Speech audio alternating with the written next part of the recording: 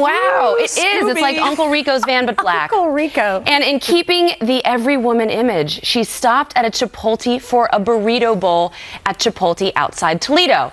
But apparently, no one recognized her. So, Kennedy, the incognito burrito, someone said on Twitter that she and Huma looked hungover. Ooh. Well, with the big glasses and the shades on. Extra Head of the guac. traveling pants. But this, was this the best way to connect with a chicken burrito bowl? It's just so real. You know, she's like, listen, I want some food of the people, but I don't want it to be icky. I don't want it to be too ethnic. Is there some middle ground we can find? And Huma went, yeah, let's go to Chipotle. Got to eat off this hangover. Uh, yeah, I think what that says is, is the first lady is, is quite ordinary looking in person. Yeah.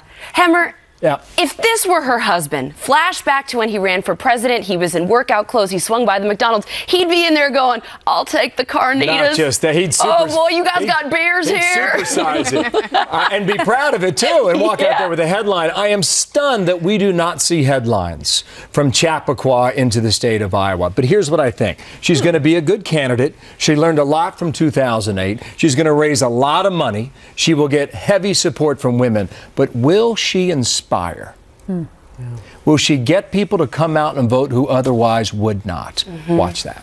Yeah. What do you think? was it maybe Hispanic outreach? Oh. She heard Rubio was announcing, so she thought, let's go to a Chipotle and get some pico de Maybe, gallo. maybe you're hitting the nail on the head. Look at this picture. Is she on her BlackBerry? I mean, that reminds me of that other picture on Twitter. The other mystery machine. This picture says it all to me. She's not relatable. She goes into Chipotle. She's dressed up. They're both wearing sunglasses. She has her assistant with her. I mean, this is not relatable. This is Middle America. She's in Middle America, and she is dressed like that and acting like that. But at here's the thing that I I find this stunning, ladies.